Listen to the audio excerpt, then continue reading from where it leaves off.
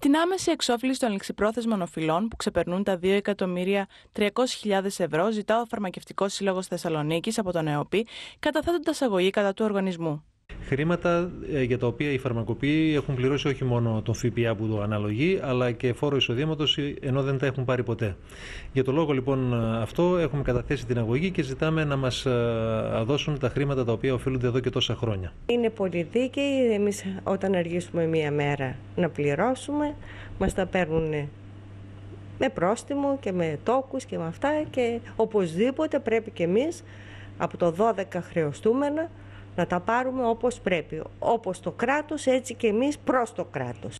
Εκτός από την αγωγή, ο Φαρμακευτικός Σύλλογος Θεσσαλονίκης με εξώδικο που επέδωσε στον ΕΟΠΗ τον καλεί να εξοφλήσει άμεσα το ποσό των 44.234 ευρώ που είχε επιδικαστεί από το Διοικητικό Εφετείο Θεσσαλονίκης.